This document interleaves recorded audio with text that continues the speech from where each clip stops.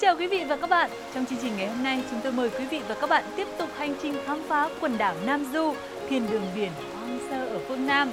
Từ bến tàu Rạch Giá, quý vị và các bạn có thể lựa chọn nhiều hãng tàu khác nhau để đi Nam Du với nhiều khung giờ khởi hành trong ngày. Còn với tàu cao tốc thì à, chỉ khoảng 2 tiếng là quý vị có thể tới được Nam Du rồi.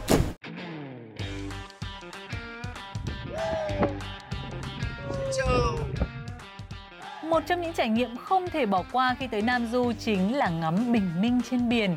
Xuyên qua những cụm đảo như Hòn Nồm, Hòn Ngang, Hòn Mấu, cảm nhận vẻ đẹp kỳ diệu của tự nhiên.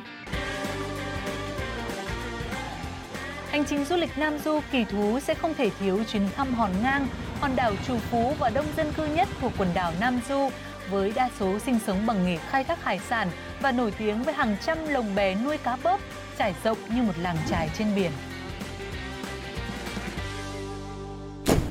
Rời khỏi Hòn Ngang, xin mời quý vị và các bạn cùng ghé thăm Hòn Mấu ở cách đó chỉ khoảng 2 km, nơi có những bãi biển tuyệt đẹp được đặt tên theo mùa gió thổi, như là bãi Trướng, bãi Nam, bãi Bắc và những người dân làng trài bình dị yêu khách nữa.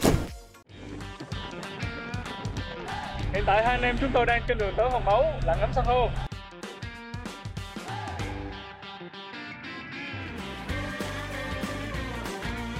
Hòn Ngang không xa, Hòn Mấu là thiên đường của các hoạt động vui chơi trên biển.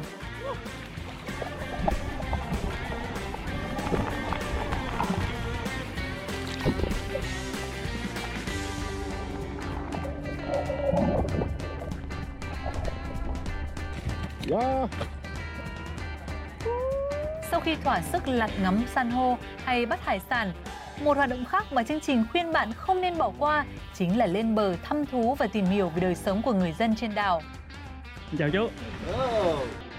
Con đường ven biển trên hòn mấu rất thơ mộng với làng trài yên bình, bãi cát trắng và mặt biển màu ngọc bích là nơi rất thích hợp để bạn bơi lội giải nhiệt ngày hè.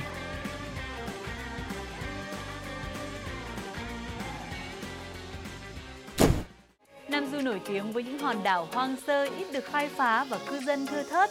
À, nếu như quý vị đang lo lắng băn khoăn về việc ăn gì, uống gì tại đâu thì xin đừng lo lắng ạ. Chương trình sẽ giới thiệu với quý vị và các bạn một khu ăn uống rất hấp dẫn ở hòn lớn, đảo lớn nhất của quần đảo Nam Du. Không chỉ là điểm tham quan dạo mát vào buổi tối, chợ đêm hòn lớn còn là thiên đường của các loại đồ ăn uống tươi ngon, trong những loại nước uống hết sức là phổ biến ở quần đảo Nam Du, đó là nước đá ma